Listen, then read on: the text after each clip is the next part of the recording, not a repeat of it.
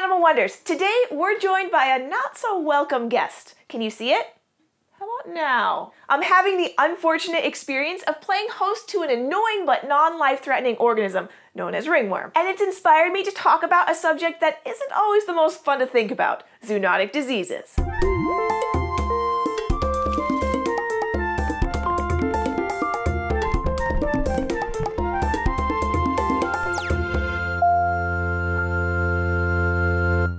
Zoonotic means a disease that non-human animals can spread to humans. And not to make you worried, but there are a lot of zoonotic diseases, way too many to cover in one episode. So I'm going to highlight the most common. First up is my buddy here, ringworm. Contrary to what the name implies, ringworm isn't a worm. It's not even an animal. It's an infection of the skin caused by a group of fungi called dermatophytes. The fungus can live in the soil or on mammals, and it's commonly spread from dogs and cats to humans. It likes to eat keratin and make itself at home in moist, dark places, like between your toes, but it can also take up residence on your scalp, your fingernails, or anywhere on your body, like your face. Ringworm is very contagious, but those that are most susceptible are the young or old, or those with a weakened immune system. Most healthy adults will fight off an infection without even knowing they came in contact. If you notice a bare patch of skin on your pet mammal and it seems to be red, itchy, or in the shape of a circle, take them to the vet immediately. Treatment is easy, and leaving it untreated can lead to it spreading through your whole household. The next zoonotic disease I'd like to feature is one I'm constantly coming into contact with.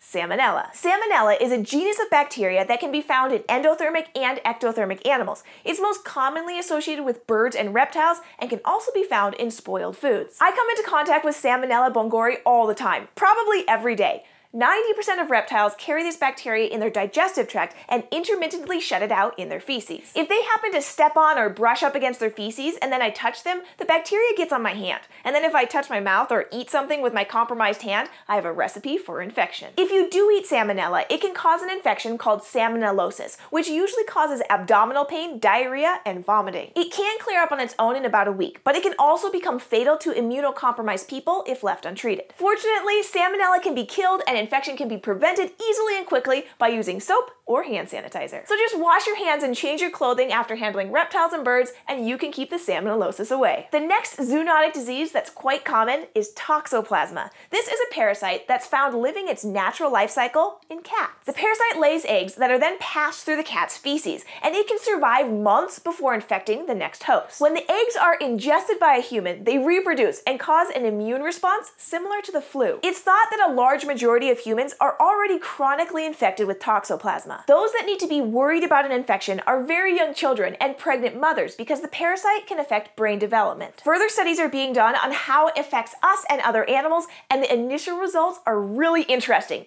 If you'd like to learn more about toxoplasma, there's a link in the doobly-doo. The last zoonotic disease I'd like to feature are hookworms. This one is a parasite that can infect any endothermic animal. They literally hook themselves to the intestinal wall and hang out laying eggs. It's transmitted from an infected animal's feces into another animal that comes in contact with that feces. Are you sensing a theme here? Spread by feces. The best way to prevent the spread of zoonotic diseases is by simply washing your hands after coming into contact with an animal. However, hookworms can not only be ingested, they can also crawl through your skin. The best way to prevent a hookworm infestation is to keep your animal's area clean and avoid walking around barefoot on potentially contaminated soil or bedding. Treatment for your pet is a trip to the vet to confirm they're otherwise healthy, and then an oral pill that kills the adult hookworms and stops the life cycle. Since it only kills the adults, you'll need to do a repeat dose to kill the next generation. So if you'd like to avoid as many zoonotic diseases as possible, wash your hands often and keep your pet's area nice and clean. Thanks for joining us on this adventure. I hope you're feeling more knowledgeable about what gross things your pets can spread to you.